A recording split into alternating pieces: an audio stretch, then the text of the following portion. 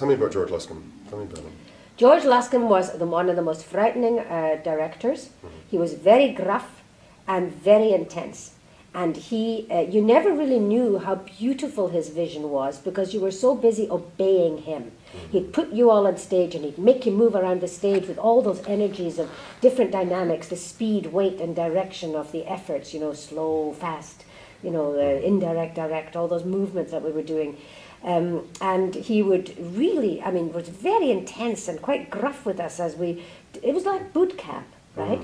And then he would bring a script in that had some kind of social meaning, social political meaning. There was always that kind of part to it.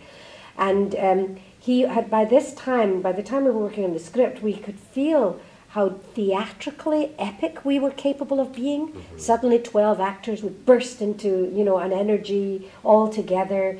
Um, so, you know, when he brought the scripts in and the playwrights in, we really dominated those scripts. Those were, it's actually a lot of those scripts could not get even published because they were sort of much looser and much more fragmented at the time. And Jack, um, Jack Winter, right? Jack Winter, he brought a lot of scripts into George, and he knew that George would meet those scripts with the kind of dynamics of the actors, right? Um, so, uh, so, and so we'd create sort of dynamic images around the scripts, and uh, we used a lot of music. We're always going, you know, learning. I, I had to learn how to play the trombone for one play, and you know, and I played a bit of a bit of accordion, a bit of this and a bit of that, played the trumpet, that kind of stuff the drums. Actually, that's one of the things I liked about my husband Jeff, Jeff Bronstein. When I first met him, he was sitting there playing the bongos. Mm-hmm. Is that the little ones? What are the little ones? The bongos? Mm-hmm. Yeah. And he was going ba boom, ba boom. I said, "Oh, that sounds fab. Are you a drummer?" And he went, "Sort of." well, it turned out he never, he never really drummed in his life. No. He was like, what were some of the things that you took from George in your own work? When I started, I left George's company. We went to Jeff and I were both hired to be part of this theatre, um, this television series called Story Theatre, which was all about creating stories almost improvisationally with a live band. It was really exciting, mm-hmm. and we were hired because we could kick off our shoes and leap into action and be physical actors. Mm-hmm. Right? We throw ourselves into character and we do anything. Mm-hmm. From there, um, we auditioned. We both of us were in the same companies. We auditioned for the St. Lawrence Centre Company, and Leon Major was the artistic director. And he said to us, I love to hire actors out of Toronto Workshop Productions who have been trained by George because I don't have to direct them, they direct themselves. Because we could feel space, we could feel how to fit ourselves into things, right? but the biggest thing that happened when I started to direct plays, I discovered that George George's training was in me, mm-hmm. and I wanted to share that, to share the kind of energy, the energy of actors, a community of actors on a stage, mm-hmm. and how do how do they bring an energy alive as a community of as an ensemble, mm-hmm. and I couldn't stop thinking about George, and I, he would come and visit me and see the shows that I was directing, actually, which was great because he never went to the theatre. He thought theatre was crap. That the only theatre that was any good was his own. of course, well. And Joan Littlewood, where he came from.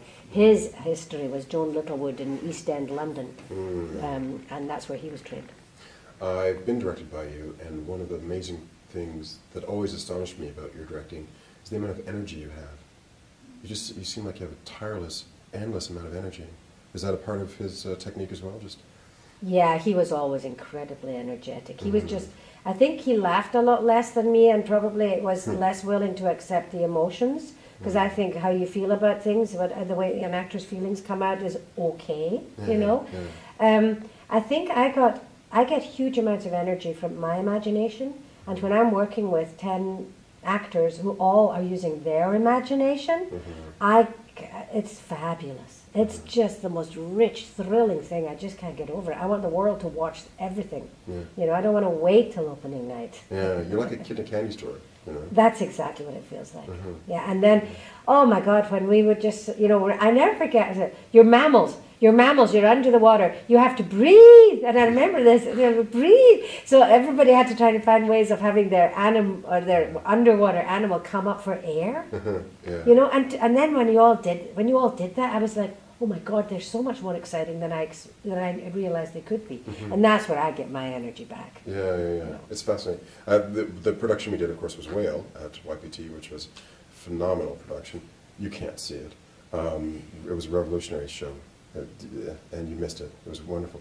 Um, but also, too, I mean, I was in the show wishing I could see the show. That's one of the problems, isn't it? Uh-huh. I've taken now, when I'm in theatre schools, I've taken to, li- to inviting the uh, students one at a time out Uh-huh. to watch what their fellow students are doing. Yeah. Because it's very hard for them to realize, yes, I'm in a clump, I'm in a heaving clump, and we're all behaving like a lung. But, Mm-hmm. but you know, what's the impact of this? You know, when this lung explodes across the stage. So I, you know, I just sort of pull people out to look because I realized that. But the audience comes and then they tell you. Yeah, exactly. Right? Yeah. Yeah. It's very important. And now you've not only worked in theatre, you've also worked in film and television. You've worked, of course, in Slings and Arrows, which is a fabulous series, of course. This is all from IMDb, which can be incorrect. I've learned from personal experience, but um, and you can correct me if I'm wrong. You were also in, of course, the Avonlea Christmas, um, Promise the Moon, which was a TV movie, and uh, oh, Street Legal. You did a Street Legal. Uh, do you remember the Street Legal you did? I don't remember mine. No. No, I don't remember No, mine. I do not remember most of the stuff I did. I did the Snow Queen, which I thought was thrilling and great fun to do. That was a CBC, BBC production, and I got to be this kind of weird woman from the north. You know, Okay. a strange accent. Oh, I love that kind of stuff. And it was blue screen, which great, or green screen. Anyway, uh, the, the the one the, the the the television experience that I had that was ongoing was the. Um, uh, the Road to Avonlea, which, and I was basically on and off for seven seasons in the Road to Avonlea, and that was like a theatre company. It was a huge number of theatre actors were in that, and it was kind of kind of wonderful, and it was a glorious thing to watch Sarah Polley grow up, Right. of and to watch her start to challenge us all with politically as well. You know, to uh, the evolution of her personal politics as they exploded into the hair makeup room. It was fantastic. Really? Yeah, really smart, intelligent, and dignified child growing up to be an, an unbelievably exciting and interesting artist. Great Um, so that was lovely, but also, you know, Lala Lalika and like I said, explain all those people. I just, and Jackie Burroughs. Mm-hmm. Oh, no flies on Jackie. I mean, there was just no way that she was going to let any injustice pass, no matter how small. really? Yes. What's an example? Can you remember an example? Uh, it was usually to do with just the general way that she felt the actors were being treated, you know, Oh, that kind of Mhm. thing. You know, when you're in a long series, you sometimes feel that you get less. You're putting out more, but you're getting less back. Mhm. It's a bit of a trend in long, t- long series. yes, of Yeah. course. And there's a sense of ownership as well, I'm sure. Oh, and you, oh, I had somebody come in once to teach me how to do a bird call because my character Clara Potts was going to be doing the talent show in that, you know, and and, so, and they said, oh, we've hired someone to come in and teach you how to do a bird call, and I said, excuse me, I've got my own bird call. Send them away, thank you.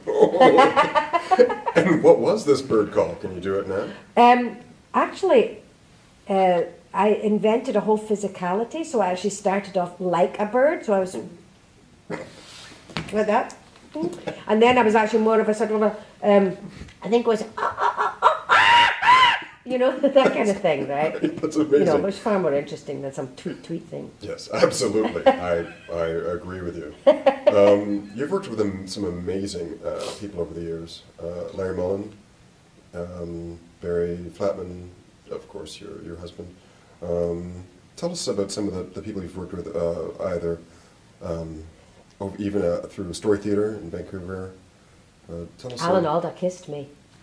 I beg your pardon. Yeah. My mom is jealous now. My mom is very jealous of you right now. Um, in Story Theatre, we actually worked with all these people Valerie Harper, Alan Alda, Bob Dishy, and Richard Libertini. These are all people, some of whom became more famous than others. Um, but they all said to me and Jeff, "Oh, you two are so much fun. Come down to come down to LA and you know meet all our agents, and we'll get you going because we did a, the whole season, Jeff and I." Right. Um, and uh, we said, no, we have to go back to Toronto Workshop Productions. And now, because we got married during that series, um, because we've still got more work to do at Toronto Workshops, and we're going to start a family. But thank you anyway. Oh, so you never, so you could have gone down to LA? We were like invited by all these people that could have just carved our careers for us. no, thank you very much. Well, I was just getting into Toronto, and I was loving it. It was really exciting, uh, and um, but uh, and so I wasn't you know, and it was nice that these people are coming up from LA, but I'd already come to Canada and then going all the way over to BC to, to be in a TV series. I, I mean, I didn't feel there was stars in my eyes because we were so proud of the work that that George trained us in. And so, I mean, Jeff, he had to do like play this dog, and they just went like, "Oh my God, that actor's so good at being a dog," right? You know? Right, right, So all these LA actors are going, "Wow," right? Right, You know. yeah, of course. Yeah. So, um, and then, um, yeah, Barry Flatman, who's a very busy working actor and does television and stage. He's been doing quite a lot of stage actually lately. Um, he was one of our one of our teammates at Toronto Workshop Productions, and uh, it was during the hippie days. So he had hair down to his elbows, and Oh, really? Yeah, and he wore the same jeans I think for three months without taking them off, and so we actually staged an intervention.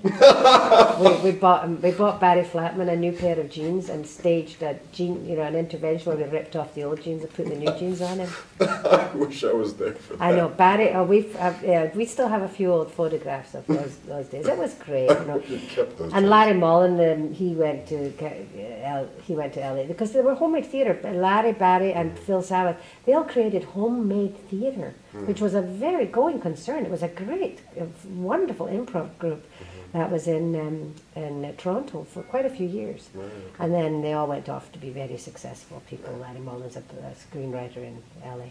Well, let me ask you about Jennifer Phipps. Jennifer Phipps. Well, when I got to be part of the St. Lawrence Centre Theatre Company, Jennifer Phipps reached out and was so kind to me. She was so good to the little actors who didn't know what they were doing. You know, I mean, mm-hmm. because at St. Lawrence Centre it was a really big stage, and they were they had real wigs and stuff, and they were, you know, I remember doing the rivals and. You know, wearing corsets and beautiful costumes. Very different. I mean, we had great costumes at Toronto Workshop, but but we owned the shows more, mm-hmm. whereas this was much more of an industry and you were part of it, you know, mm-hmm. and you had separate little dressing rooms, so you didn't, you know, you had to knock on someone else's dressing room door to, to say hello and stuff. Um, and um, so Jennifer Phipps was phenomenally good and kind to me and warm and really it was a re- great company member. And um, she taught me a couple of things that I thought were great fun to know. When we had a huge company photograph taken, all of us, like there was, I must have been about 40, 50 of us, and Jennifer sat beside me and said, Maja, look and see what everybody else is doing just before they take the picture, and then do the opposite. That way you'll be noticed. That's brilliant. I'm glad I heard that story. That's And, exactly what I'm going to do. and then um, uh, she, I don't know if she's going to kill me for this, but we did a play called um, the uh, oh geez, it was know, it was a big epic Chinese play set in China, and Neil Munro was in it, and and Neil Munro had to make his great big entrance. It was a great big entrance. He was a young warrior, right? And Jenny and I had to be in the crowd scene, and uh, we were rehearsing forever. It was going on forever, and it was just like oh. So Jenny said, Maja, let me stand really close to you, and if I have to take a little nap, just wake me up when the scene is over. And she would lean on me and just get a little heavier and heavier. And then when the scene was over, I'd give her a little nudge and she'd wake up and carry on. Nobody knew.